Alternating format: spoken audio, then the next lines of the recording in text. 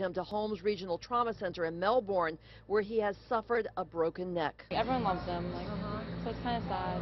Drivers were snarled for hours as county workers waited for subcontractors to come fix the pole, which was barely standing, balancing on the semi. It is, but the rebar's still underneath, still holding it just barely, but we still got it back guide all together with another crane, so it's not going anywhere.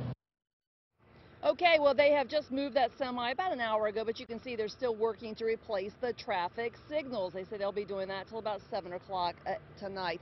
Meantime, the high school senior does remain in the hospital. His mother says that he broke the C2 vertebra of his neck, but he is uh, in serious condition and awaiting surgery on Thursday.